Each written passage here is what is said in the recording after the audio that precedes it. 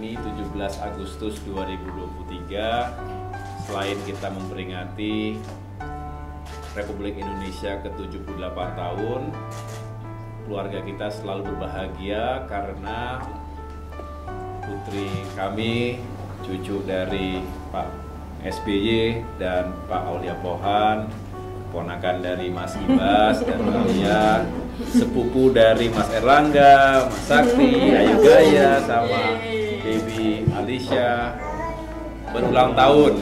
Tahun ini berusia 15 tahun. Betapa waktu cepat berlalu serasa masih kemarin Aira digendongan kita dan juga saat ini tumbuh menjadi seorang remaja. Mudah-mudahan Aira semakin soleha Amin.